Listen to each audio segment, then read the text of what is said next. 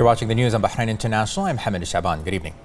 Following the circulation on social media of a footage, the Cybercrime Directorate at the Ministry of Interior affirmed that a citizen named Mekki Kuwait from Sitra, who was detained by the Qatari authorities by sea, has been questioned on receiving a monthly wage of 10,000 Qatari riyals in return for information on the movement of Bahrain's security forces in Sitra.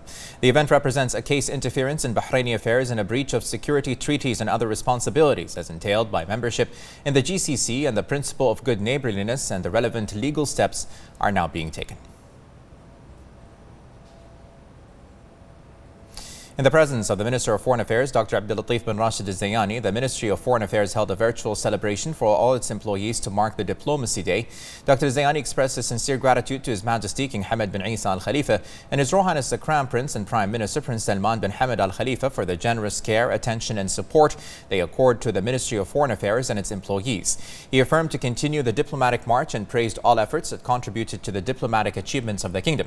The minister then honored the winners of the initiative program, praising their sincere sincerity, dedication and the spirit of responsibility that they exerted to contribute to the development of the Ministry of Foreign Affairs. He stressed the ministry's keenness to implement these ideas, wishing them continued success.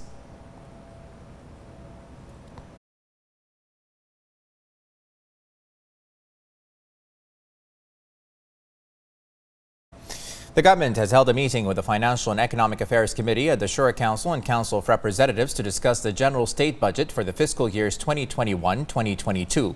The government was represented by the Minister of Finance and National Economy, Sheikh Salman bin Khalifa Al Khalifa, the Minister of Labour and Social Development, Jamil Hameidan, the Parliament Minister, Ghanem Al Buainain, the Minister of Health, Faeqa Al Saleh, the Minister of Industry, Commerce and Tourism, Zaid Zayani. The virtual meeting aims to showcase the importance of continuing social support programs for citizens, developing health services and strengthening strengthening plans related to diversifying and spurring economic growth. The government said the citizens' interests represent a top priority in its plans, stressing keenness on drawing up the draft general budget for the two fiscal years, despite the exceptional circumstances resulting from COVID-19 and the challenges of low oil prices in global markets. It stressed the importance of maintaining social support for the most needy citizens, continuing to improve the efficiency of government-run services and increasing their effectiveness. It pointed out administrative expenses are being reduced and the efficiency of spending spending has been increased.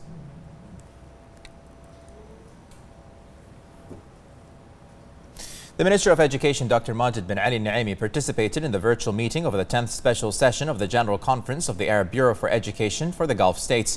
During the meeting, they approved the recommendation presented by the Executive Council of the Bureau regarding the appointment of the candidate of Saudi Arabia, Dr. Abdurrahman bin Mohammed Al Asimi, the new Director General of the Arab Education Office, for a period of four years. The meeting thanked the former Director General Dr. Ali Abdul Khaliq Al Qarni for his efforts in supporting an enrichment of the educational field in the member states and strengthening the role of the office at the regional and global levels. In the presence of the Minister of Oil, Sheikh Mohammed bin Khalifa Al Khalifa, the National Oil and Gas Authority signed a memorandum of understanding with the environmental company Eni Rewind.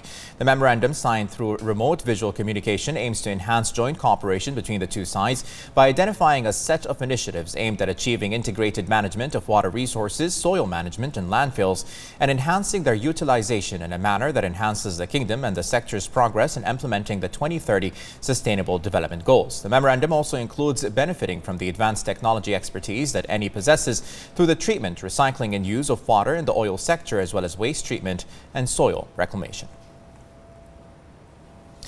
The Ministry of Health said that the total number of individuals vaccinated as, as, of Thursday, the 14th of January, stands at 110,000. The ministry renewed its call that the vaccines are a safe and effective way of protecting individuals, their families, and the community as a whole. The national vaccination campaign continues across the kingdom to implement the government's proactive plans to confront the coronavirus pandemic. The Ministry of Health indicated that electronic channels are available for registration for those wishing to take the vaccine, whether they are citizens or residents who have reached the age of 18 and above. Individuals can choose the health center and the type of vaccine they want to take, noting that vaccines approved in the kingdom are safe and effective and are provided free of charge for everyone. The Ministry of Health said today that the number of coronavirus cases reached 3,127 active cases with 169 recoveries and 342 registered new cases. 178 of the new registered cases were expatriates, 155 were contacts of active cases and 8 were travel related. The Ministry of Health announces the death of a 61-year-old male citizen from COVID-19 and expresses its condolences to the family of the deceased. The ministry urges everyone to comply with the guidelines issued by the National Task Force to combat COVID 19.